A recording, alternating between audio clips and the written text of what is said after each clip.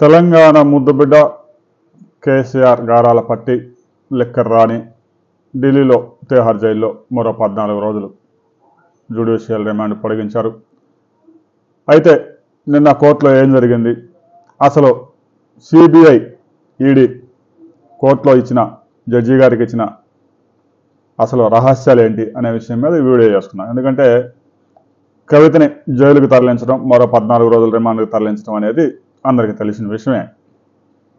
Rows avenue కోర్టులో నిన్న ED case విచారణకు వచ్చినప్పుడు ఏదైతే కవిత ఉందో ఈ అక్కనే జుడిషియల్ జుడిషియల్ రిమాండ్ ముగి ముగియడంతో నిన్న జైలుకి పట్టుకెళ్ళారు ఆ జైలు నుంచి కోర్టుకి లాక్కెళ్ళారు ఆ కోర్టులో జడ్జి గారు అన్నీ విని మరో పద్నాలుగు రోజులకి తీర్పును వాయిదా వేశారు.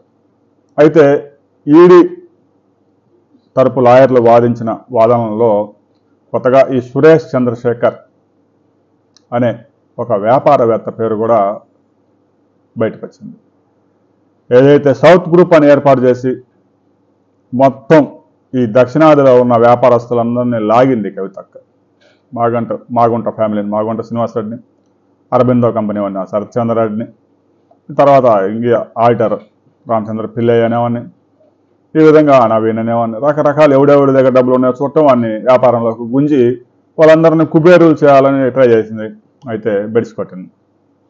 అయితే ఈ సురేష్ చంద్రశేఖర్ అనే అతను సిబిఐకి ఈడీకి ఒక కీలకమైన సమాచారం అందించాడట. కవితకైతే పది ఫోన్లు ఈడీకి సిబిఐకి హ్యాండ్ ఓవర్ చేసింది. హ్యాండ్ ఓవర్ చేసే ముందే చక్కగా ఒక నిపుణుడిని పిలిపించి అందులో ఉన్న డేటా అంతా డిలీట్ చేపించి ఇక రిట్రైవ్ చేయడానికి కూడా సాధ్యం కాదు అని నిర్ధారించుకున్న తర్వాత ఒకటి రెండు సార్లు ఆలోచించుకొని ఆ ఫోన్లన్నీ ఈడీసీబీఐకి ఇచ్చి ఇప్పుడు తీసుకోండి డేటా అని చెప్పేసి ఇచ్చేసింది. సరే అక్క ఫోన్లో అయితే ఈడీ ఈడీ దగ్గర సిబిఐ దగ్గర ఉన్నాయి. ఎవరితో అయితే చాట్ చేసిందో ఈ సురేష్ చంద్రశేఖర్ అనే అతనితో ఆ చాట్ స్క్రీన్ షాట్లు అవన్నీ ప్రింట్ తీసి సిబిఐ ఈడీకి ఇచ్చాట. దీంతో అక్క బుక్ అయిపోయింది. ఆమె ఫోన్లో అయితే డేటా డిలీట్ చేసింది కానీ ఈ సురేష్ చంద్రశేఖర్ ఫోన్లో డేటాను డిలీట్ చేయడం సాధ్యం కాదుగా. మనం ఎవరికైనా మెసేజ్ చాట్ పంపించినప్పుడు మన ఫోన్లో డిలీట్ చేస్తాము. అదే వెంటనే కనుకైతే అయితే డిలీట్ టు మీ అండ్ అవతల ఫోన్లో కూడా డిలీట్ చేయొచ్చు. కానీ అవతల వ్యక్తి ఈ లోపల స్క్రీన్ షాట్ కొడితే నువ్వు డిలీట్ చేసినా అతని దగ్గర స్క్రీన్ షాట్ ఉంటుంది. ఇద్దరి దగ్గర డిలీట్ అయిపోయిందని మనం ఫీల్ అవుతూ ఉంటాం. కానీ అతను స్క్రీన్ స్క్రీన్ షాట్ తీసే ఉంటాడు ఆ పాటికి. టక్ ఒక ఫోటో స్క్రీన్ మీద నొక్కితే ఫోటో వచ్చేస్తుంది స్మార్ట్ ఫోన్లో. స్క్రీన్ షాట్ ఫోన్లో సేవ్ అయిపోద్ది. ఇక అక్క ఊహించలేదు ఇలా స్క్రీన్ షాట్లు కొట్టి ఉంచుతాడని. సిబిఐకి అడ్డంగా దొరికిపోయింది జడ్జి గారికి చూపించారట. అక్క చేసిన చాట్ చూడండి సార్. వంద కోట్ల వంతున వంద రూపాయల లాగా మార్చి పడేసింది గోవాకి పంజాబ్ ఎన్నికలకి. మరో తొంభై ఐదు కోట్లైనా నేను ఇవ్వడానికి సిద్ధంగా ఉన్నాను రెడీగా ఉన్నాను. ఎక్కడ పంపిమంటే అక్కడ పంపిస్తాను అడిగింది. కేజ్రీవాల్ని కలిసింది. గోవాలో పంజాబ్లో ఆపును గెలిపించే బాధ్యత కూడా నాదే అని చెప్పిందట. ఇక ఢిల్లీలో లిక్కర్ పాలసీ మీకు ఎలా కావాలంటే అలా రాసుకోండి అని కేజ్రీవాల్ కూడా చెప్పడంతో. ఇక ఆరు శాతం హోల్సేల్లో ఆరు శాతం వచ్చే లాభాలని పన్నెండు శాతానికి రిటైల్లో ముప్పై ఐదు శాతం వచ్చే లాభాలని నూట ఎనభై ఐదు శాతానికి పెంచి. సత్యచంద్రారెడ్డికి ఐదు జోన్లు నువ్వు నువ్వు చూసుకోవాలి పాతి కోట్లు ఇచ్చేసాయి అని అడిగిందంటే. పాతి కోట్లు నా వల్ల కాదు అసలు ఆ వ్యాపారం నాకు కొత్త. ఏదో రెమెడీస్ ఇవ్వరు తయారు చేసుకొని పద్దెనిమిది వందల రూపాయలు ఏం పాతిక వేలకు అమ్ముకోవడం అది నాకు తెలుసు కానీ ఇదేదో ఈ వ్యాపారం నాకు లేదంటే బెదిరించిందట నీ కంపెనీలు అన్నీ హైదరాబాద్లో ఉన్నాయి మరి నడవాలా? పొల్యూషన్ డిపార్ట్మెంట్ కూడా ఖాళీగా ఉంది మరి బయలుదేరుతారు. ఏ విషయం చెప్పినా సరే పద్నాలుగు కోట్లకి బేరం కుదుర్చుకుని వెంటనే మూట మూట పంపించాడు. ఆ రెమెడీస్ డబ్బులు కూడా బస్తాలు బస్తాలు వచ్చినాయి. అవన్నీ కవితకి ఇస్తే గోవాకి పంజాబ్కి ట్రాన్స్ఫర్ చేసింది. ఈడీ వద్ద స్పష్టమైన ఆధారాలు ఉన్నాయి. ఇక ఎవరెవరితో కవిత అయితే చాట్ చేసిందో ఆ చాట్ రికార్డులన్నీ ఉన్నాయి. అప్రూవర్గా మారిపోయిన వాళ్ళంతా వాళ్ళ ఫోన్లు అప్పగించిన తర్వాతనే అప్రూవర్గా మారిపోయారు. వాళ్ళ ఫోన్లో డేటా అంతా రిట్రై చేశారు. కవిత ఎవరెవరితోని చాట్ చేసింది ఏమేం చాట్ చేసింది అనే విషయాలు స్పష్టంగా ఉన్నాయి. వారు ఇచ్చిన రిపోర్ట్లో కూడా మాదేం లేదు మేము జస్ట్ వ్యాపారంలో వన్ ఆఫ్ ద ఒక మెంబర్ మాత్రమే. అసలు కీలక వ్యక్తులంతా కేజ్రీవాల్ కవిత వాళ్ళే చూసుకున్నారు.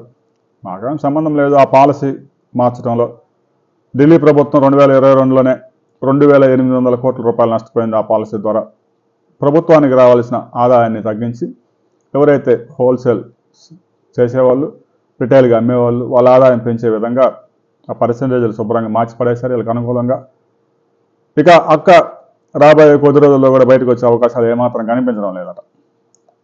నా ఫోన్లో అయితే ఇచ్చే మీకు డేటా అయితే ఏం దొరకలేదు. నన్ను వదిలేయండి. ఎలాంటి సాక్ష్యాలు లేకుండా ఎలా అరెస్ట్ చేస్తారని అక్క తరపు న్యాయవాదులు అభిషేక్ సింఘ్వి లాంటి వాళ్ళు దాదాపు రోజుకు మూడు కోట్లు తీసుకునే వాళ్ళు ముగ్గురు ముగ్గురు లాయర్ల కోర్టుల్లో పడి వాదిస్తూ ఉన్నారు. అయినా సిబిఐ ఈడీ చెప్పిందే చెప్తుంది చెప్పిందే చెప్తుంది కోర్టు చెప్పిందే చెప్తారు. అక్క నిజాలు చెప్పడం లేదని చెప్తున్నారు. నిజాలు చెప్పడం లేదు కాబట్టి అదే చెప్తున్నారు సిబిఐ కానీ ఈడీ తరపు న్యాయవాదులు. అందువల్ల అక్కకి బెయిల్ ఇవ్వండి చెప్పిందే చెప్తున్నారు చెప్పిందే చెప్తారు. సరైన సాక్ష్యాలు ఆధారాలు జడ్జి గారు చూపించారని మీరు కంగారు పడాల్సిన అవసరం లేదు. అక్క ఎవరితో చాట్ జరిపిందో ఆ చాట్ వివరాలన్నీ స్క్రీన్ షాట్లు ఉన్నాయి. ప్రింట్లు తీసి పెట్టారు. ఇంకాడికి పోవు. నువ్వు డిలీట్ చేసిన పోవు ఫైల్ అయినాయి. ఇక రాబోయే రోజుల్లో అక్కకి బెయిల్ అయితే వచ్చే అవకాశాలు లేవు మే ఏడో తేదీకి వాయిదా పడిపోయింది. ఇక ఏడో తేదీ మళ్ళీ వచ్చి ఒకసారి పట్టుకొస్తారు కోర్టుకి. మళ్ళా పద్నాలుగు రోజులు. ఈ విధంగా ఒక రెండు నెలలు మాకు టైం ఇస్తే ఈడీ మేము మొత్తం తయారు చేసి ఫైల్ మీకు సమర్పిస్తాం. అని చెప్పేసి కోర్టు చెప్పింది. కోర్టు కూడా అంగీకరించింది. రెండు నెలలు అయితే అక్క జైల్లోనే ఉంటుంది. ఆ తర్వాత పూర్తిగా తిహార్ జైలు వాతావరణానికి అలవాటు పడిపోయింది కాబట్టి ఇంక ఇబ్బంది పడాల్సిన అవసరం లేదు. అప్రూవర్గా మారితే మాత్రమే బెయిల్ వచ్చే అవకాశం ఉంది. లేదంటే బెయిల్ ఒకటిన్నర సంవత్సరం దాకా వచ్చే అవకాశాలు ఏమాత్రం లేవట. ఎందుకంటే కేజ్రీవాల్కి రాని బెయిల్ ఒక ముఖ్యమంత్రిగా ఉన్న వ్యక్తికి రాని బెయిల్ కవితకి ఎలా వచ్చింది? పాత్రధారి సూత్రధారి కింగ్ పిన్స్. ఇలాంటి వారిని విడుదల చేయడం అసాధ్యం. ఈ ఈ కేసులో వీళ్ళిద్దరే జైల్లో ఉంటారు. మిగతా వాళ్ళంతా బయటకు వచ్చే అవకాశం ఉంది. ఎందుకంటే సిసోడియా కూడా బెయిల్ వచ్చిందని చెప్తా ఉన్నాడు. Already AAP party MP Suresh కూడా బయటకు వచ్చాడు. ఇక మిగిలింది మెయిన్ పాత్రధారి సూత్రధారి మిగతా వాళ్ళు నలుగురు ఐదుగురు అప్రూవర్ మారిపోయారు బయటకు వచ్చేస్తారు. వీళ్ళిద్దరు మాత్రం జైలు శిక్ష అనుభవించాల్సిందే. ఒకటిన్నర సంవత్సరం పైన పడే అవకాశం ఉందట. నిపుణులు చెప్తున్నారు రాబోయే కొద్ది రోజుల్లో కవితక్క కేసులో ఎలాంటి అప్డేట్స్ వస్తాయో చూద్దాం. వీడియో సెలెక్ట్ లైక్ చేయండి షేర్ చేయండి కామెంట్ చేయండి మస్ట్గా